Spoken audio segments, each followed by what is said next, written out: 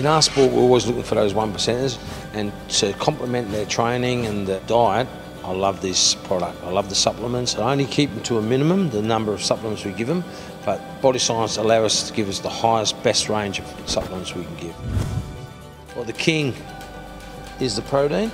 Protein, you know, their protein powder, the whey, the Nitrovol is excellent for after training, repairing the body's wastage. The thing I have used this year is the uh, ready to drink protein drinks.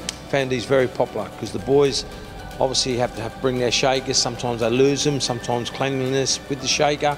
This takes away all that. Straight after your training, put this into you. You know you're getting the full protein, plus it's got milk in it. It's a great supplement. After training too, we have the uh, Body Science bars. Again, eat them in the showers, eat them in as they're recovering.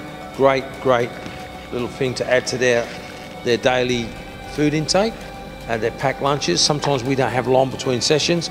That's a great little snack to give them. Yeah, if you wanna, if you wanna be the best uh, you can be at anything you do, you know you need the right tools, and uh, you know for us in particular, we need to be able to recover the best we can, and uh, you know we put our bodies through a lot of work through the, the week at training, and uh, especially during the games, you know that's when we really need a peak. So.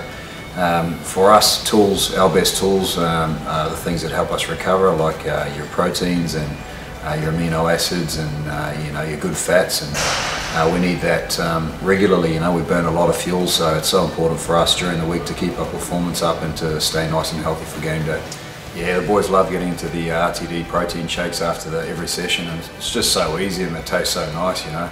It takes all the mixing up uh, and, and shaking all out of it you know. Not that that's very hard but uh, you know, any little convenience the boys love, and uh, they're beautiful once you put them on ice. Unbelievable. Yeah, the Chaos is a uh, product they use for your, your peak performance and to really get you going during a weight session, a field session, uh, and in particular the games. You know, a lot of the boys, a lot of us get on the Chaos before the games, and uh, you know, it just helps you get that extra kick and uh, you know, it maximises performance basically.